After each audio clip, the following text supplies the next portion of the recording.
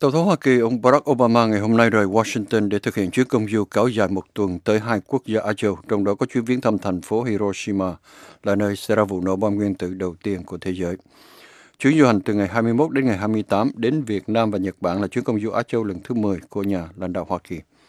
Một thông cáo của Tòa Bạch Ốc nói chuyến đi này nêu bật cam kết của Tổng thống Obama đối với chiến lược tái cân bằng sang Á Châu Thái Bình Dương và có mục đích gia tăng sự hợp tác về ngoại giao, kinh tế và an ninh với các quốc gia trong khu vực.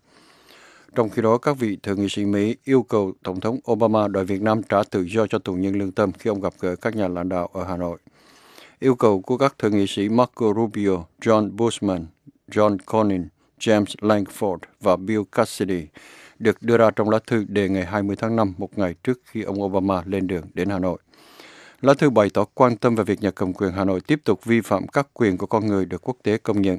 Và họ nói rằng trong lúc Việt Nam muốn tăng cường các mối quan hệ với Mỹ thì Tổng thống Obama nên nhân cơ hội này để đặt tiến bộ về nhân quyền như một điều kiện tiên quyết cho việc tăng cường quan hệ song phương.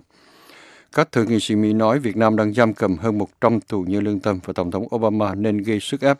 để đòi Việt Nam trả tự do vô điều kiện cho tất cả những người này.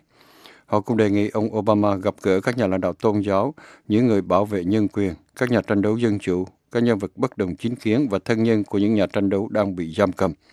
Họ cho rằng những cuộc gặp gỡ quan trọng này sẽ đánh đi một thông điệp rõ ràng cho chính phủ Việt Nam và những người bị họ đàn áp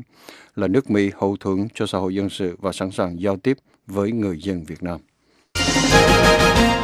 The Voice of America,